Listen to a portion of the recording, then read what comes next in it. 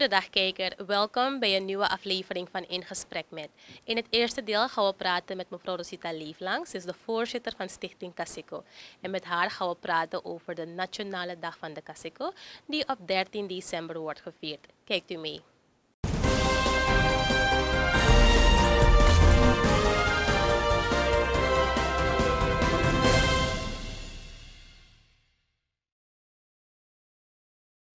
Zo, mevrouw Rosita. Welkom in ons programma In Gesprek Met. Dankjewel. We praten vandaag over de Nationale Dag van de Casico. Waarom is er een Nationale Dag nodig voor Casico? Ja, Caseco is uh, Surinaamse dans- en feestmuziek, uh, wordt het ook wel genoemd. En um, helaas was er te merken dat in de afgelopen jaren het erop leek alsof de muziek aan het verdwijnen was. Um, en ik heb dus sinds 2014 kwam ik op het idee om uh, te vragen naar een nationale dag. En de toenmalige directeur van cultuur, dat was de heer Stanley Sidoel, ik blijf zijn naam noemen, want hij heeft dus uh, dat zaadje geplant toen. Hij zegt van als er uh, meerdere mensen zijn die achter het idee staan, zouden we dat zeker moeten doen. Om ervoor te zorgen dat we de Casico gaan behouden als datgene wat van ons is. Het is hier geboren en um, we moeten het behouden en zelfs ook verder exporteren. Ja, en hoe is het proces verlopen tot het verklaren van 13 december als de Nationale Dag van de Casico? Door um, veel te roepen, door veel activiteiten te organiseren, wat ik dus doe sinds 2014. Ik heb diverse activiteiten georganiseerd, georganiseerd samen met andere uh, um, gelijkgestemden, om dat zo te noemen. Mensen die sowieso ook in de Casico muziek zitten. Uh, workshops, uh, seminars, um, feesten, informatieavonden, discussies hebben we allemaal georganiseerd sinds toen.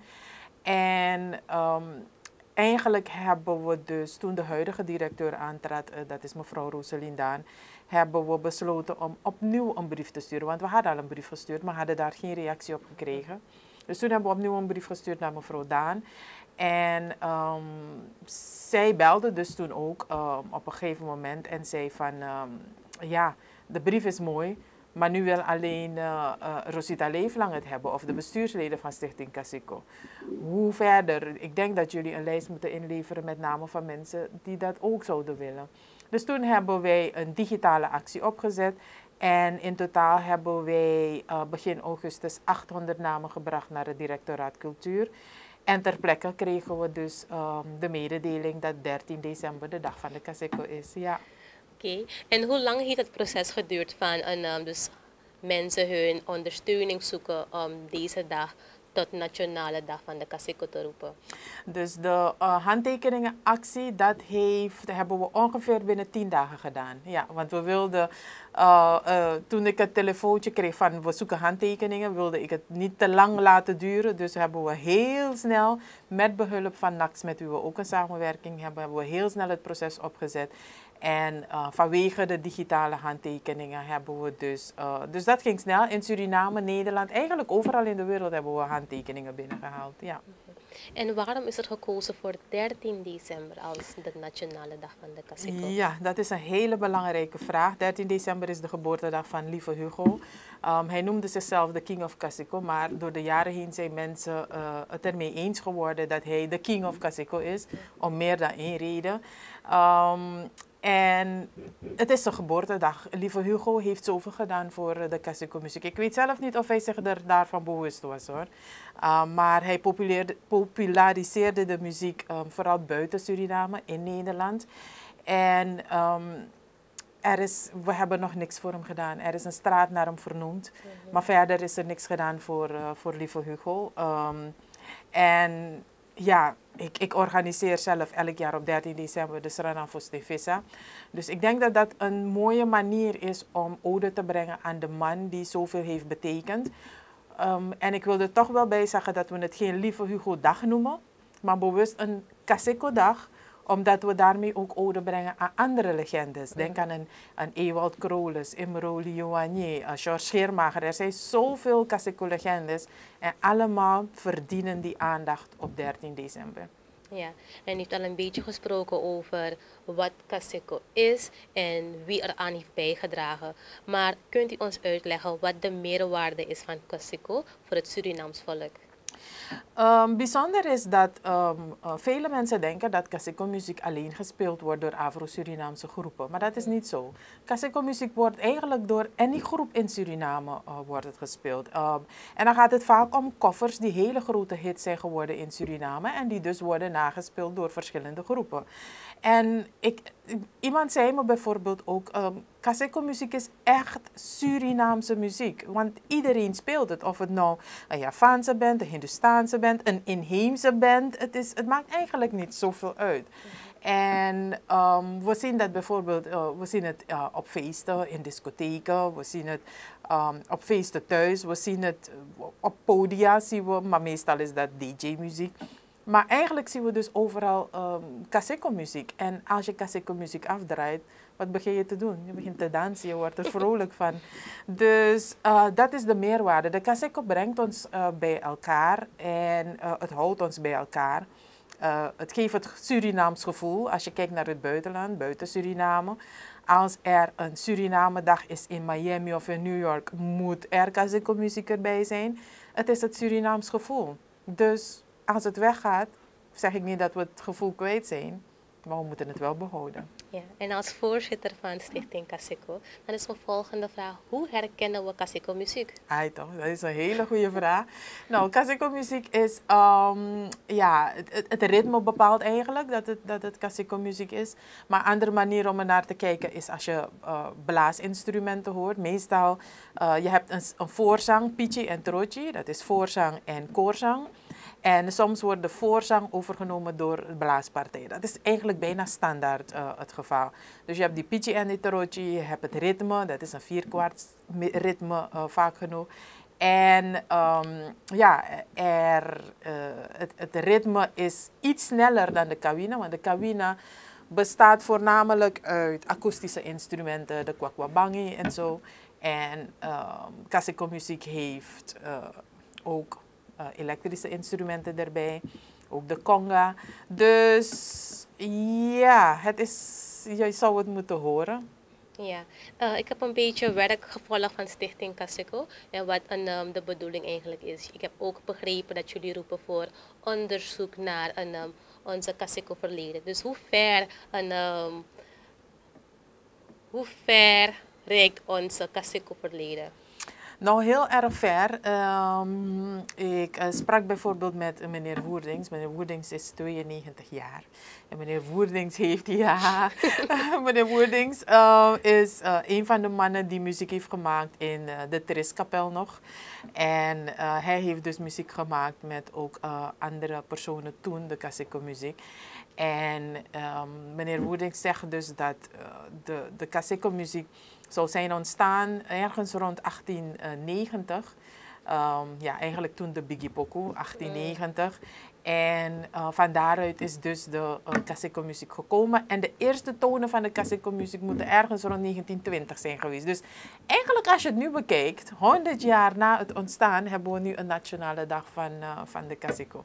Dus zo oud is de Kaseko muziek eigenlijk. Maar ik wil erop wijzen dat wij van de stichting bewust onderzoek willen doen. Want kijk, we, we feesten natuurlijk, dat is mooi, dat moet altijd en het zal ook altijd.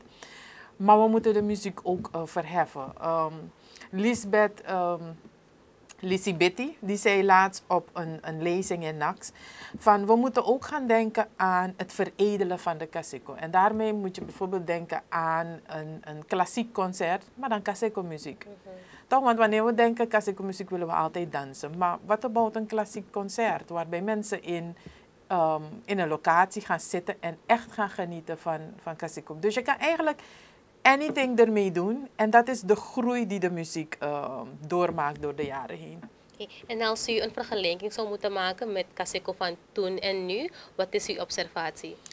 Sowieso is er uh, vooral in het ritme is er uh, verandering gekomen. Dat is de grootste observatie. Als je luistert naar de muziek van uh, voor 1970, als mannen als Jopie Friese en George Scheermacher, dan um, hoor je een ander soort ritme. Als je daarna luistert naar de muziek van Iwan Esseboom, dan hoor je weer een ander soort ritme. De mannen van Cosmo Stars, dat zijn de Maron-invloeden die erbij mhm. zijn gekomen. En als je alweer luistert naar na 1990, dan hoor je weer een ander soort ritme. Daar heeft een veredeling plaatsgevonden tussen de Kawina en de Kasiko, wat Kaskawi is gaan heten. Mhm. En als je nu luistert, dan hoor je een nog sneller ritme. En dat wordt dus nu Kabula genoemd. Dus de ritmes die blijven een, een bepaalde invloed spelen in, in de Kaseko muziek. En dat is dus een manier om, het, om, er, om er naar te kijken door de jaren heen. Ja, en ik weet dat u heel veel interesse heeft in uh, muziek. En ik weet ook dat u vaker heeft gesproken met buitenlandse artiesten. Heeft u gemerkt dat een um, Kasiko-invloeden zijn overgenomen door buitenlandse uh, muzikanten? Uh, nee, niet meteen op de plaat, maar um, tijdens mijn periode bij het Suriname Jazz Festival hadden wij een, uh, was ik belast met het educatiegedeelte. En ik had het er altijd over dat de artiesten um, altijd wel een stukje Suriname moesten meenemen. En um, een van de groepen die uh, bijvoorbeeld hier was, dat was de M2 Trio. Op een gegeven moment heeft de drummer, die was helemaal weg van uh, de klassieke muziek. Hij heeft, een, een zus van hem is overleden. En hij heeft dus toen een nummer geschreven, een jazznummer, met klassieke invloeden daarin. Um, dus dat was wel um, apart en bijzonder, omdat ze nog een keer terugkwamen naar Suriname en hij bracht de muziek mee en hij zei, hey Rosita, listen to this, listen to this and tell me what you think. Ik zeg, um, I heard something familiar. Hij zei, yes, because you learned. Dus hij heeft, dus toen hij weg was, is het hem bijgebleven. En, en dat zijn mannen die in het buitenland spelen met hele grote artiesten. Denk aan Janet Jackson uh, en, dat soort, en dat soort groepen waarmee ze optreden. Dus dat is ook een manier om de Kaseko te te laten groeien en uh, te laten exporteren uiteindelijk. Ja, en als we terugkomen op dus, um, het werk van de stichting, we weten allemaal dat jullie een bepaald doel voor ogen hebben. Kunt u stressen wat de uiteindelijke doelen zijn die de stichting wil gaan behalen? We willen graag dat de Kaseko er blijft, maar ook dat de belevenis um, um, beter wordt, op een andere manier wordt. En um, een van de manieren om dat te doen is natuurlijk onderzoek. Maar dat onderzoek moet ook resulteren in een, een voordracht indienen bij de UNESCO. Om het te plaatsen op de werelderfgoedlijst van um, uh, intangible heritage, van immaterieel erfgoed. Uh, daar werken we naartoe, dus dat is één kant van het verhaal. Aan de andere kant willen we in Suriname graag een museum opzetten. En, uh, zodat mensen ook de ervaring van uh, daar kunnen komen halen. Um, en een Hall of Fame. Er zijn zoveel Kaseko-legendes. En niemand, er zijn maar enkele namen die steeds de ronde doen. En wij willen met deze Hall of Fame al deze mensen onder het stof vandaan halen. En ze een plekje geven en hun verhaal vertellen. En de mensen die er naartoe, naartoe komen ook um, laten beleven wat zij hebben gedaan en wat zij voor ons hebben nagelaten. En als ze er nog zijn, ze ook uitnodigen natuurlijk om daar hun bijdrage te komen leveren. Ja. Heel mooi. Heeft u bijvoorbeeld een idee wanneer we kunnen uitkijken naar een, uh, een museum? we werken er heel hard aan. Het eerste dat we moeten hebben is een pand. Wij hebben de droom om natuurlijk een historisch pand te krijgen in uh, Hartje Paramaribo. En um, ja, we, we, wachten erop. dus uh, eigenlijk zodra het pand er is, kunnen we, kunnen we aan de slag. En uh, we, we, voeren gesprekken, dus wie weet in 2024. Fingers crossed. Oké, en u heeft ook gesproken over een, uh, dus de Kaseko plaatsen op de werelderfgoedlijst. Hoe verloopt dat proces? Of zijn jullie al begonnen met dat proces?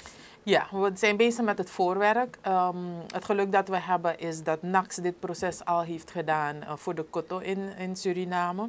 Um, dus uh, we leren heel veel van NAX en we kunnen altijd daar terecht uh, voor advies. Dus wij doen nu het voorwerk.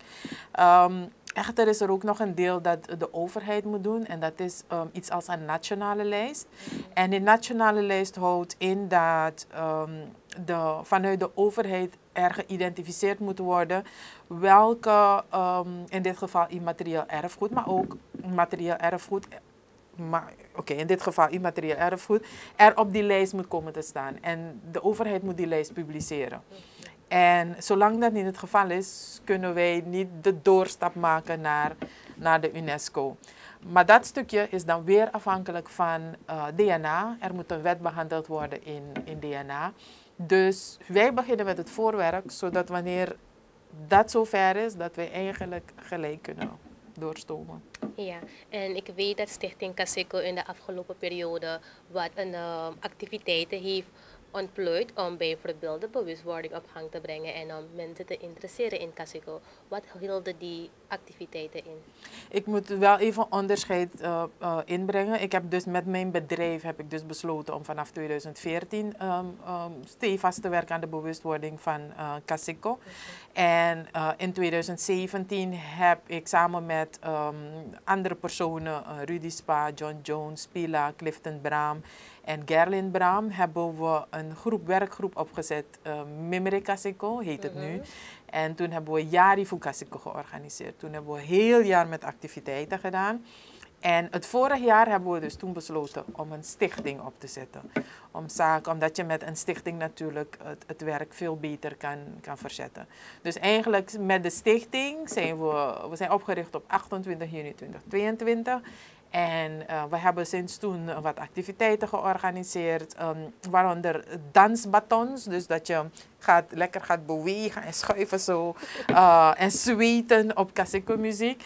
En uh, dit jaar hebben we bijvoorbeeld een filmavond um, gedaan. We hebben een Kaseko draaitafelavond gedaan. Dus dat zijn eigenlijk meer um, de activiteiten die we hebben gedaan. En voor wat betreft dit jaar willen wij een, een gedenkplaat onthullen voor uh, Lieve Hugo. En natuurlijk de eerste nationale dag van de Kasiko gaan we afsluiten met, um, hoe heet dat? Met de Suriname Vestivus weer. Ja, ik zie dat u een beetje haast heeft. Oh, sorry. ik heb nog een vraag, want jullie hadden ook een activiteit op Facebook. Mensen konden inzendingen sturen naar Stichting Kasiko. Hoe is dat verlopen?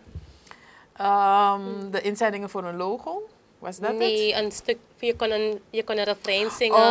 Oh, ja, ja, ja. Oké, dat was dus de challenge, de Caseco Challenge. Oh, ja, ja, ja. ja, ja. Uh, jij kunt ook nog altijd opsturen.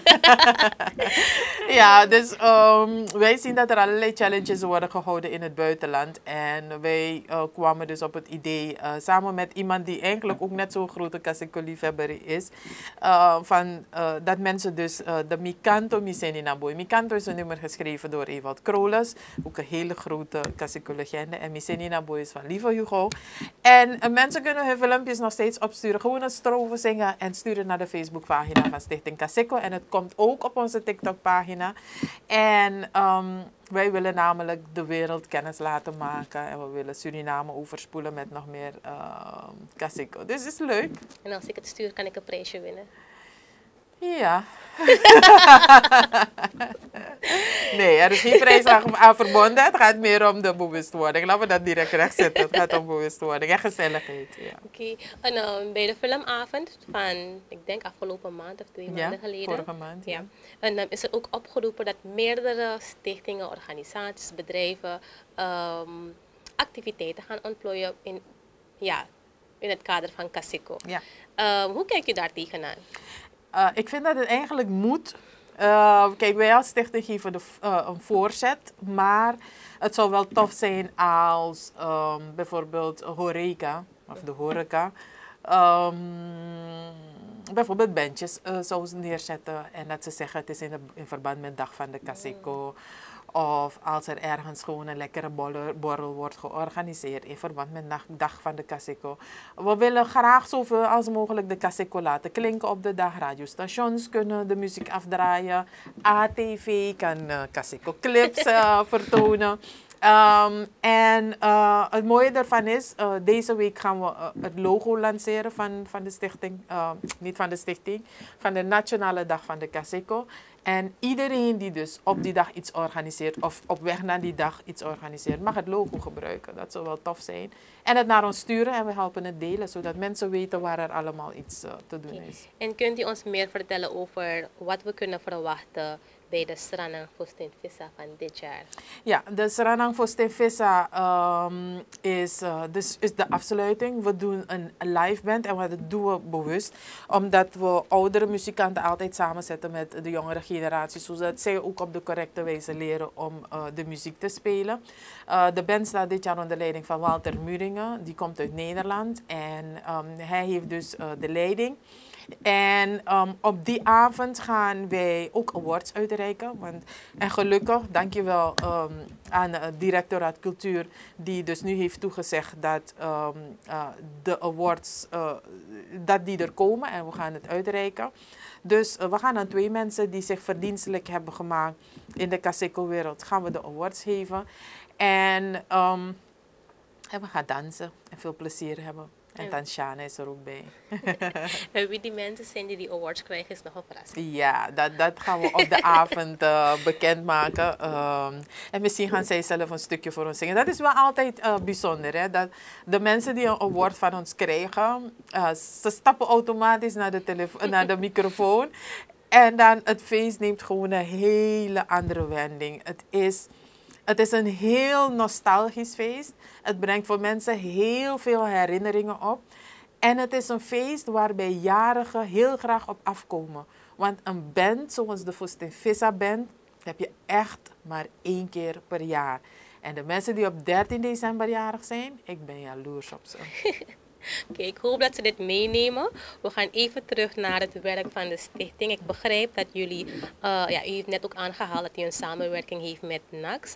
Uh, kunt u ons uitleggen wat de samenwerking inhoudt en als u andere samenwerkingen heeft? Ja, um, de samenwerking met NAX is um, versterking. Dat we um, op het gebied van Caseco, maar ook op andere projecten bij de organisaties rakende uh, versterken we elkaar. Um, op dit moment heeft Stichting Casico nog geen huis. We kunnen wel altijd terecht bij, uh, bij NAX als het bijvoorbeeld daarop aankomt. NAX kan ook altijd een beroep op ons doen als er um, dingen zijn die moeten gebeuren. Dus um, het is een samenwerking die eigenlijk het moment invult. Bijvoorbeeld de stichting helpt ook bij Um, er komt een, een iconenkalender uit elk jaar. En -hmm. sinds vorig jaar helpt de stichting ook mee op de dagen om de rondleidingen te geven en dat soort zaken. En um, afgelopen zondag hebben wij een, een andere samenwerking ondertekend. En dat is met de stichting Kinky. Die zit in Nederland met als voorzitter mevrouw Hermine Haman. Zij zijn gespecialiseerd in het Sranang. En de teksten in Kaseko, oh, dat is echt een apart verhaal. Dus met de stichting, um, de twee stichtingen gaan dus na hoe wij um, uh, de taal binnen de Kaseko-liederen, meer van vroeger, hoe we, hoe we, we, gaan, we willen onderzoek daarna doen. Hoe kwam het tot stand? Wat wordt er allemaal in gezongen? Weet je, al, al dat soort dingen willen we gaan onderzoeken. En we willen ook gezamenlijk activiteiten uh, organiseren. Ik moet zeggen dat we als stichting um, nog meer samenwerkingen aangaan, want we weten, wij zijn nieuw, we zijn jong, we hebben die kennis niet. En we zeggen waarom het wiel opnieuw uitvinden. Dus door het aangaan van samenwerkingen proberen wij uh, zo snel als mogelijk, maar ook voornamelijk zo goed als mogelijk ons doel uh, te bereiken. Oké, okay. en heeft u een boodschap aan onze luisteraars als het aankomt op Caseco?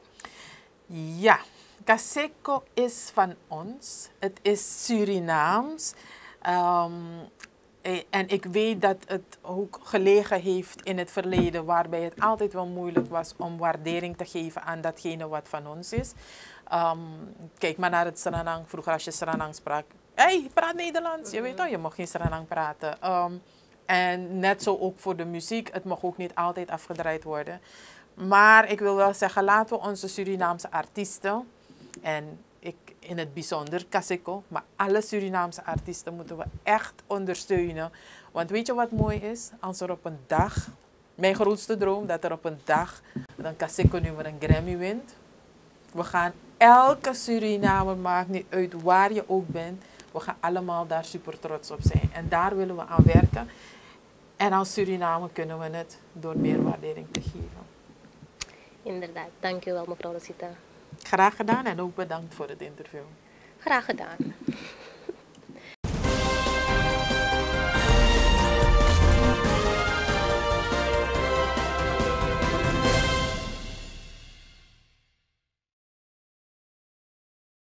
Zo kijkers, met deze woorden van mevrouw Rosita Leeflang zijn we gekomen aan het einde van het eerste deel van deze aflevering van In Gesprek Met. Gaat u nog niet weg, want mijn collega Aranza Suedo heeft nog een deel voor u.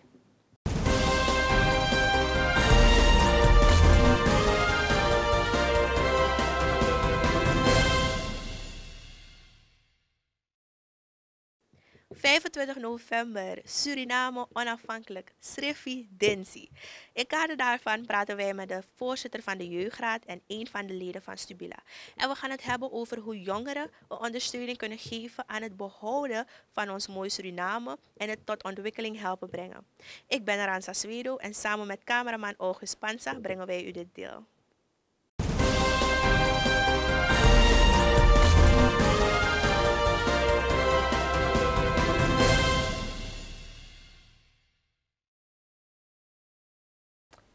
Vergie Miles, thank you dat je tijd hebt vrijgemaakt om met ons te zitten vandaag. Hoe gaat het?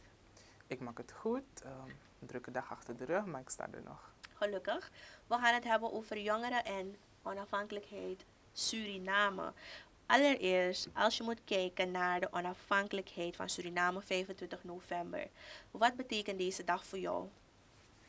Als ik kijk naar 25 november, betekent het verschillende dingen voor mij. Maar het gaat voornamelijk om de autonomie. En ik denk dat het belangrijk is dat we dat nog steeds of al 48 jaar mogen vieren. Ik denk dat dat het belangrijkste is. Vanuit een jeugdige perspectief, hoe belangrijk is het dat jongeren deze dag vieren en bewust zijn van deze dag? Voor jongeren is het belangrijk om dit te vieren, omdat ze trots mogen zijn op hun land. Het is een strijd die is gestreden en het mag een gevoel van vaderlandse liefde gaan bevorderen. Er zijn vele ons voorgegaan in de strijd naar onafhankelijkheid. En als we terugkijken naar onze geschiedenis, is het vooral voor jongeren belangrijk om dat te doen. Om eigenlijk situaties die zich vandaag voordoen beter te begrijpen. Waarom bepaalde aspecten zich voordoen, um, fenomenen. Um, je zou die antwoorden kunnen halen uit je geschiedenis. Dus het is nog interessanter om te weten hoe het is gegaan, hoe de strijd naar onafhankelijkheid is gegaan. En dat geeft voldoende reden om na 48 jaar autonomie, staatkundige autonomie, om dat te vieren. Ik denk dat voor jongeren het ook belangrijk is om trots te zijn daarop. Want uh, er zijn nog steeds landen die, niet onafhankelijkheid zijn, die nog niet onafhankelijk zijn. Ja, je hebt het heel mooi um, geformuleerd, maar ik breng me eigenlijk naar mijn volgende vraag. Je zei de strijd die gestreden is. Als je terug moet gaan naar je geschiedenis of dat wat nog is blijven hangen, wat vond je het mooiste of het belangrijkste aspect in de strijd naar onafhankelijkheid? Je hebt sowieso, wanneer je iets wil gaan bereiken, heb je een groep. Je komt bij elkaar en dan heb je een groep, een gemeenschap in dit geval. Maar dan heb je altijd een kleine groep die het voortouw neemt. En belangrijk voor die groep is vooral dat je achterban hebt die gelooft in wat je doet. En ik denk dat het volk van Suriname toen, tenminste het, het grotere deel, enthousiast was naar die onafhankelijkheid. En de, de mensen die eigenlijk het voortouw namen naar die onafhankelijkheid, die push zodanig hebben gegeven dat het, het, realiseren van die onafhankelijkheid makkelijk leek te zijn. Want het werd zo uitbundig gevierd. Ik denk dat het belangrijk is voor die mensen geweest die het voortouw hadden, dat ze achterban hadden die in ze geloofden. Weet je, en dat waren echt, um, als ik terugkijk naar beelden, dan ben ik echt zo, weet je, het je zo, het, je maakt je zo emotioneel. Mensen waren zo enthousiast en excited om onafhankelijk te zijn. Dat is het inderdaad wel. Het maakt je inderdaad heel emotioneel. Gewoon omdat je denkt, hé, hey, we waren daar en kijk waar we nu zijn als land. Hoe denk je dat de onafhankelijkheid, de identiteit van Suriname en de trots van ons heeft beïnvloed? Um, het volk weet dat um, we nu beleidsvrijheid hebben, of bij, met de onafhankelijkheid beleidsvrijheid hebben. En ik denk dat er meer vertrouwen is gegaan naar beleidmakers vanuit dus de achterban, vanuit het volk. Ik denk dat uh, dat stukje vertrouwen, het vertrouwensaspect naar, vanuit de samenleving naar de regering toe, um, is gaan groeien. Um, dat stukje zekerheid naar een toekomst die um, gesurinamiseerd is, is ook meer naar buiten gekomen. Dus ik denk dat dat aspect van vertrouwen een grote, van grote invloed is geweest op onze Surinaamse gemeenschap. En voor Suriname vooral. Ja, als je hoort 25 november, waaraan is het eerste, dat je, of wat is het eerste dat je opkomt? Nou, 48 jaar al staatkundig onafhankelijk. Als jongere denk ik, als ik, als ik zeg onafhankelijkheid, dan denk ik onder andere aan zekerheid. Um, zekerheid voor een, een goede toekomst, financieel stabiel zijn, een gevoel van veiligheid hebben. Weet je, hoe ver wordt dat voldoende nagestreefd in, um, als het gaat om onafhankelijkheid zijn? We zijn nu al 48 jaar staatkundig onafhankelijk. In hoeverre kan ik zeggen dat mijn toekomst verzekerd is? Dat ik verzekerd ben van veiligheid later? Um, noem maar op, een heleboel aspecten zou ik kunnen opnoemen. Dus voor mij is dat stukje verze um, verzekering, weet je, die zekerheid die ik als jongere eigenlijk aan het reflecteren ben. Hebben we die zekerheid? Heb ik die zekerheid naar een, onder andere een, een, een vruchtbare toekomst? We zijn na 48 jaar staatkundig onafhankelijk. En dan ga je reflecteren, je gaat terugkijken, um, hoe zitten de zaken en dan kom je achter bepaalde zaken. Hoe kunnen jongeren actief bijdragen aan het behoud van de onafhankelijkheidsstrijd, dus de herinneringen daarna en de vrijheid die daarmee gepaard is gegaan? Ik denk dat jongeren actief kunnen bijdragen als ze rolmodellen hebben. Um, een rolmodel kan zijn iemand die integer leiderschap voert. Ik denk dat we een Surinaams ding hebben. We kijken vaak op naar anderen, maar ik denk dat daar een beetje gebrek nu aan is. Dus als jongeren meer rolmodellen hebben, dan denk ik dat ze weten waar ze naartoe gaan. Ik denk dat die rolmodellen dan ze ook um, kunnen bemoedigen om steeds verder te gaan. Um, ze te helpen hun stem te ontdekken en die verder te ontwikkelen. En uh, erop uit te gaan. Weet je, er zelf op uit te gaan. Hier in Suriname hebben we soms de mentaliteit om te blijven wachten. Afwachtende houding aan te nemen dat alles naar ons toe gaat komen. Ik hoop dat die, of ik, het zou super zijn als, als jongeren rolmodellen hadden. Voldoende rolmodellen hadden om naar op te kijken. En ze eigenlijk te helpen om die stem die ze hebben eruit te halen en die ook te gaan ontwikkelen. Zich erbij te betrekken en hun betrokkenheid effectief te maken. Ja, mooi dat je hebt gezegd rolmodellen. Er moeten rolmodellen zijn. Um, noem enkele in verband met revidentie rolmodellen nee. voor jou op waarvan je kan zeggen, hé, hey, dit is wel iemand waar ik naar opkijk. Ransa. Zonder iemand tekort te doen natuurlijk. ik heb nu niet een specifieke rolmodel, maar als ik terug ga in de tijd, dan denk ik aan de mensen die dat stukje verbroederingspolitiek proberen te realiseren of hebben gerealiseerd.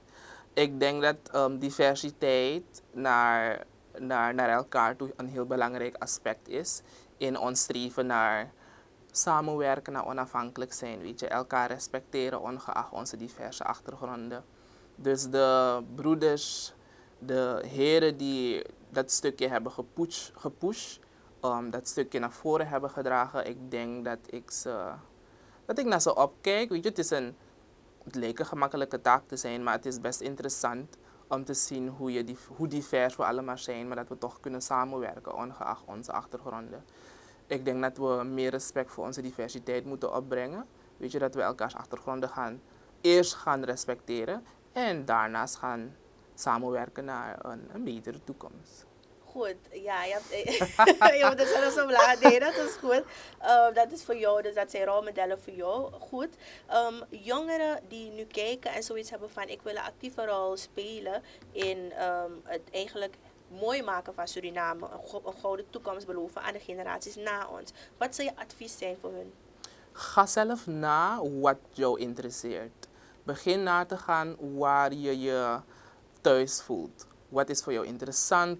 Waar, op welk gebied wil je je gaan, um, wil je expertises gaan opdoen en ga er zelf op uit. Vooral er zijn voldoende instanties, organisaties, mensen daarbuiten die um, graag werken met jongeren. Um, ik heb het ook zo gedaan. Ik ben er zelf op uitgegaan en naarmate je erop uitgaat, kom je steeds andere mensen tegen. Je krijgt de gelegenheid om een netwerk, een professioneel netwerk te bouwen. Je komt mensen tegen met waarschijnlijk dezelfde interesses als jou. En het brengt je veel verder dan je ooit gedacht zou hebben. Dus zit niet thuis te wachten of te wachten op, op een oproeping of zo, maar ga er eerst alvast zelf op uit. Um, leer te vragen, wees niet bang om te vragen. Um, praat wanneer het nodig is, wanneer het dat vooral wordt gevraagd. En zoek vertrouwenspersonen op waarvan jij denkt dat ze je kunnen brengen waar je eigenlijk wil zijn. Het is heel belangrijk om dat te doen. Yes, thank you. Wil je afsluiten met een strepidentieboodschap, maar dan mag je in de camera kijken. Nou, ten eerste gefeliciteerd met 48 jaar staatkundig onafhankelijk. Aan jullie jongeren wil ik zeggen, vier dit. Um, het is een strijd um, vooraf gegaan, die is gestreden. We zijn 48 jaar staatkundig onafhankelijk. Wees er blij om. Vier deze onafhankelijkheid, maar tegelijkertijd geef ook jouw eigen bijdrage en laat jouw stem ook tellen. Zorg ervoor dat je uh, omringt met mensen die um, jouw stem waarderen en die jou de gelegenheid geven om ook jouw stem te laten horen, want het, is, het weegt heel veel. Thank you Verge en we wensen je natuurlijk succes in hetgeen je doet. Thank you.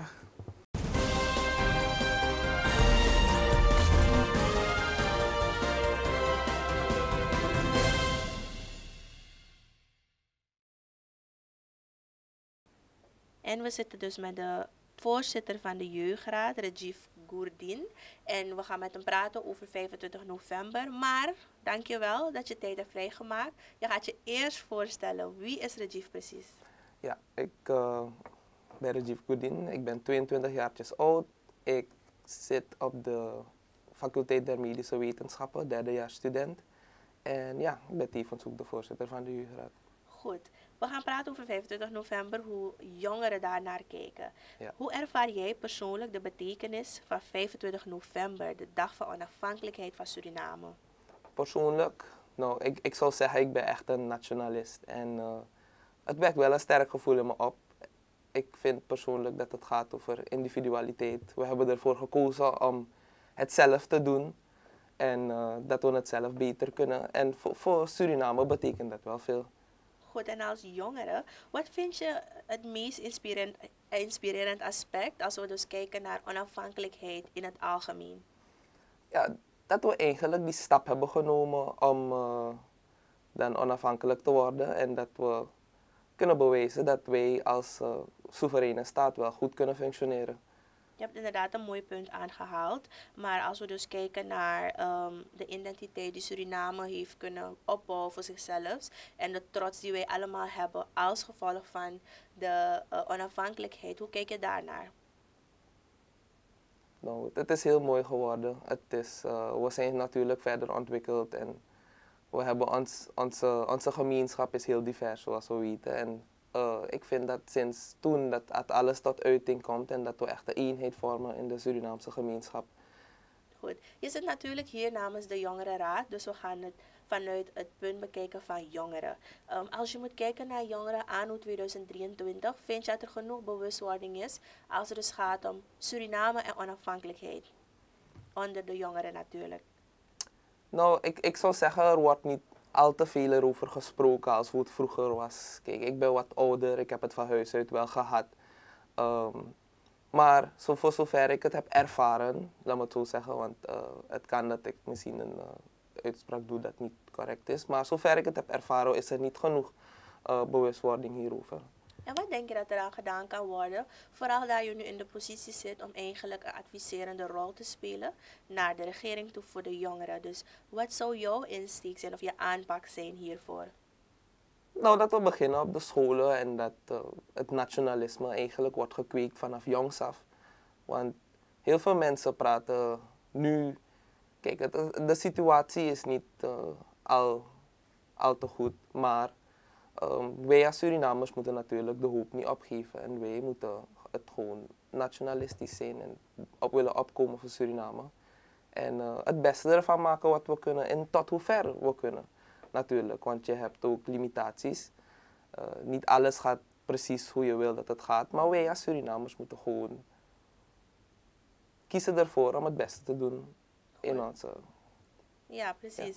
Je hebt het inderdaad mooi aangehaald. Als we kijken naar de geschiedenis, dan zien we dat er een aantal uh, waarden, er is een bepaalde trots ontstaan bij de Surinamers. Um, toen we onafhankelijk werden, natuurlijk was niet iedereen er eens mee, maar het is uiteindelijk gebeurd.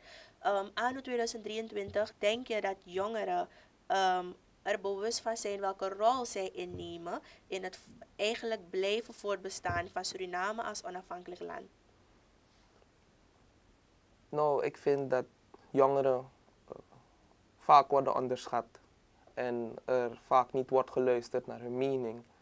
Uh, terwijl jongeren juist een gezond denkvermogen hebben en ook adequaat zijn om hun mening te uiten. Dus wat ik persoonlijk vind is dat er meer geluisterd, niet alleen persoonlijk, maar ook zijnde de voorzitter van de jeugdraad, dat er meer geluisterd moet worden naar jongeren en dat jongeren wel serieus genomen moeten worden. Want hun mening telt wel. Wij zijn de volgende die daar gaan zijn, wij zijn de toekomst. Dus wat wij, wat onze mening is, is wel, moet wel meegenomen worden in het heel beleid. Goed, je hebt inderdaad aangehaald, jongeren hun mening is natuurlijk wel belangrijk. Nu gaan we over die tradities praten. Als je kijkt of als je denkt aan 25 november, wat is het eerste dat in je opkomt? Het eerste dat in me opkomt is wat uh, alle Surinamers natuurlijk leuk vinden en dat is feesten. we zijn altijd uh, op de tradities uh, als er zijn feesten. En ja, we vieren het groot. Ehm, ik denk aan de, het, het, het, het, hele gebeuren dat altijd in de stad is. En ja, de optocht die we hebben met alle diverse culturen. En alles komt naar buiten natuurlijk. Goed, los van het feit dat je voorzitter bent van de jeugdraad, uh, begeef je ook in verschillende jongerenorganisaties of overige jongerenorganisaties. Klopt dat? Misschien wil je de mensen even vertellen wat je allemaal nog doet? Ja, ik ben uh, lid van de Rotary Club of Genesis. Dat is uh, een de jongere afdeling van de Rotary um, tussen 18 en 30 jaar. deze organisatie houdt zich bezig met sociale projecten, leadership, ontwikkeling, zelfontwikkeling. En um, ja, ik, ik zit al een tijdje er, al ongeveer twee jaartjes erin. En je hebt ook daaronder uh, jongerenorganisatie uh, Interact. Dat is ook afdeling van de Rotary. En ja, Rotary Suriname houdt zich wel bezig met heel wat projecten. Goed, dus jullie zijn eigenlijk ook wel bekend met het onderwijssysteem, projecten uitvoeren in zo'n branche, ja toch? Mm. Of doen jullie, eh, richten jullie het echt alleen op sociale projecten? Echt sociale projecten zou ik zeggen. Het onderwijssysteem is uh, nauw betrokken met de overheid. Maar wij als jeugdraad willen er zeker naar kijken. Uh, alvast om wat duidelijkheid te geven over het nieuwe onderwijssysteem. We willen graag een een eh, sessie houden waar we dan leerkrachten en ouders bijbrengen, waar we dan informatie verstrekken. Want er zijn heel wat vragen en onduidelijkheden over het nieuwe onderwijssysteem. Goed, en op welke manier denk je, als we kijken naar 25 november, dan heb je lekker eten, een festival, lekker muziek. We weten, Surinamers weten het best. De feesten, dat kunnen we heel goed doen. Hoe denk je dat kunst en cultuur, het gebruik maken daarvan, een rol spelen tijdens het herdenken van onafhankelijkheid? Dat is een, is een goede vraag. Uh, kunst en cultuur is natuurlijk. Het, het, moet meer naar buiten komen, want we hebben mensen die heel wat. Uh, mensen met talent in Suriname. En het is wel een plaats waar je dan eigenlijk een showcase kan houden voor uh, kunst en cultuur. Dus misschien moet er meer showcasing zijn. Want in tijdens 25, november. Goed, maar kunst en cultuur, die bewustwording onder de jongeren of de stimulering daarvan, wil de jongerenraad er wat, de jeugdraad er wat mee gaan doen? Het is natuurlijk een heel goed punt. We zullen kijken in hoeverre we iets hiermee kunnen doen. Uh, en ik, ik denk wel dat het zal lukken. Onze main focus is wel nu uh, scholing en scholen. Want uh, er is heel wat nieuws daarover we zien dat het niet zo goed gaat op scholen en we willen ons veel bezighouden daarmee. We hebben het dus gehad over de onafhankelijkheid van Suriname en de jongeren, hoe we daarnaar kijken. Je hebt het ook aangehaald, we leven in een beetje een uitdagende um, situatie. Hoe denk je dat we ondanks alle tegenslagen, dat de jongeren toch een bijdrage kunnen leveren aan het mooi maken van Suriname? We moeten gewoon het beste doen wat we kunnen. Um, het beste maken van je situatie school jezelf op uh, alle vlakken. Um, kennis, is, uh, kennis is het meest waard, zou ik zeggen, in uh, alles wat je doet. Want hoe meer kennis je hebt, hoe meer je weet, hoe breder je visie is over de toekomst. En ja, we moeten gewoon alles op alles zetten om moeite te doen om ons land weer omhoog te krikken. Want ja, je kan niet opgeven. Het is we hebben een mooi land, we hebben veel potentie en we kunnen dat wel vervullen met de juiste hoofden bij elkaar. dat is inderdaad zo. Wil je tot slot nog afsluiten met een boodschap, een evidentieboodschap voor de jongeren, Suriname? Dan mag ik je wel vragen om in de camera te kijken. Nou ja, uh, ik wilde nog even hebben over individualiteit. Kijk, 25 november heeft Suriname heeft besloten om het zelf te doen. En wij als jongeren kunnen het ook zelf doen. Als wij een verandering willen zien, kunnen we natuurlijk eraan werken om het allemaal samen te doen. En uh, het gaat ons zeker lukken.